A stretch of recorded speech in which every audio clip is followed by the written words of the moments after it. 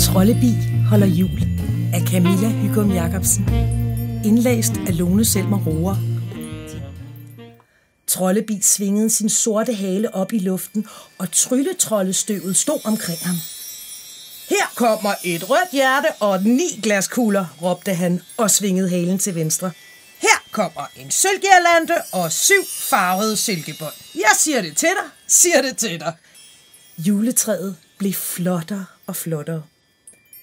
Rygsækken, som bierne havde haft med ind til landsbyen, åbnede sig, og ud sprang de to honningkager fra bagerforretningen. Hjertepige og stjernemand. Honningkagestjernen kravlede op øverst på træet og holdt honningkagehjertet i hånden. Juleenglen, som Trollebi havde kysset, satte sig midt på træet på en anden gren og lyste stærkere end alle lysene, glaskuglerne og sølvgirlanderne til sammen. Kom